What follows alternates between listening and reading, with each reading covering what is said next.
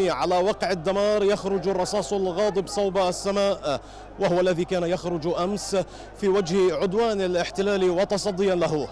يشيع الفلسطينيون هنا سبعة شهداء ارتقوا خلال عدوان الاحتلال الذي استمر لخمسة عشر ساعة وسط غاضبة تؤكد على أن المخيمة سيبقى حاضرة شعبية للمقاومة.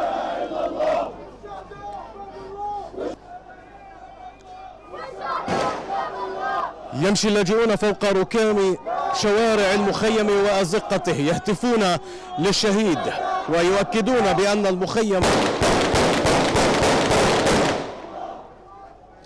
سيبقى على درب المقاومة.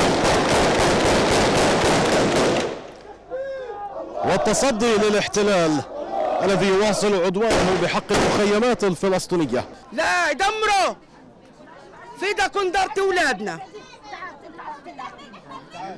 في ده كندرت ولادنا ومشاهدين هاي. ولا تحسبن الذين قتلوا في سبيل الله أموات بل أحياء عند ربهم يرزقون. هذا المخيم معروف على مدى الأيام والسنين مخيم الأبطال والشهداء مخيم الكرامة مخيم العزة مخيم الشجعان.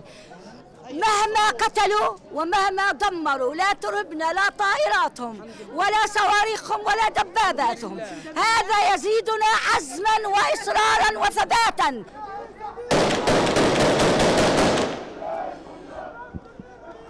لن يكون الموكب الأول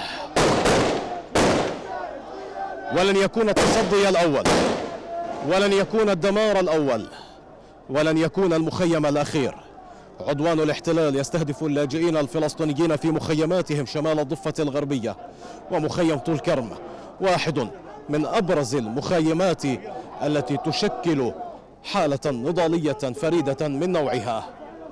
بكل ألوان العلم الفلسطيني يشيع الشهداء على وقع أصوات الرصاص الغاضب فيما الدمار يحيط بالمشيعين وجثامين رفاقهم.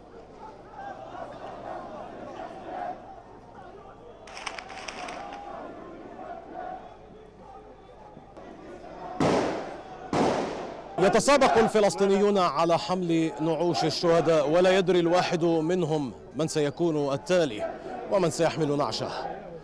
من مخيم طول كرم شمال الضفة الغربية المحتلة حافظ أبو صبرة. رؤيا.